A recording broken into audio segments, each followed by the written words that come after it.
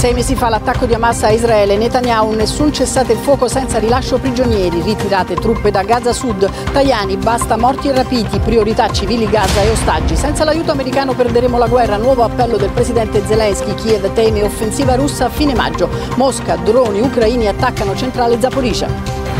Giallo sulla morte violenta di una donna ad Aosta, ancora senza nome, trovata in una chiesetta diroccata. Si cerca un uomo su un furgone rosso. Fine settimana con temperature da record, prove d'estate nelle località di mare, in montagna ultime sciate della stagione, affollati musei e parchi archeologici statali oggi gratuiti. Negli Stati Uniti cresce l'attesa per l'eclissi solare, l'evento astronomico dell'anno. Domani la luna oscurirà il sole per 4 minuti. Texas e New York invase dai turisti.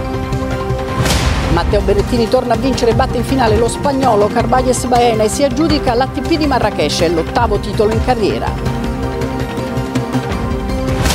Si è concluso al Madison Square Garden di New York il tour mondiale di Laura Pausini, due ore emozionanti di hit e duetti internazionali per festeggiare i 20 anni di carriera della cantante romagnola.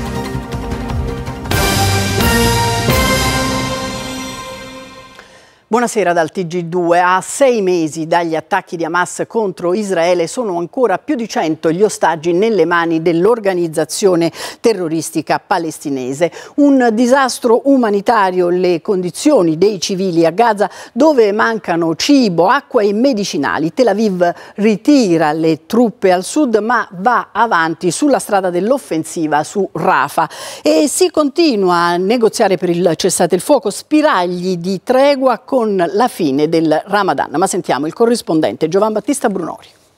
Il TG2 torna domani mattina alle 8.30. Grazie per averci seguito e buona serata.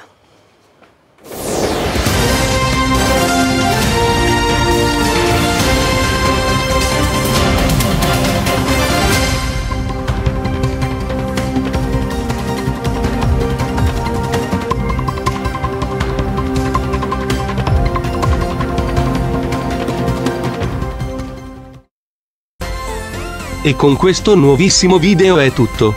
Mi raccomando iscrivetevi al canale, lasciate un bel mi piace e mettete la campanella per non perdervi i nostri nuovi video.